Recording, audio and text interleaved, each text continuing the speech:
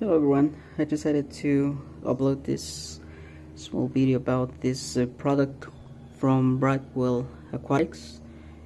It's um, called FlorinBase laterite powder.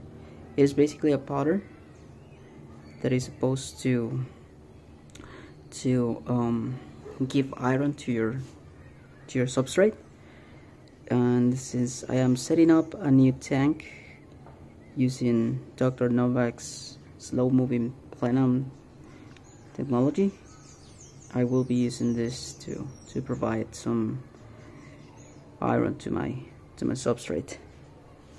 I will be using it here. As you can see I already put some some clay underneath the dirt. Is this clay is uh, Seachem fluorite red this uh, fluorite is on top of my under, uh, under gravel filter plate. And then underneath the I mean above the the fluorite I started adding some some dirt.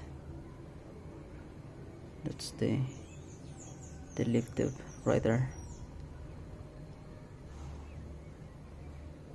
Okay yeah this is what I'm gonna use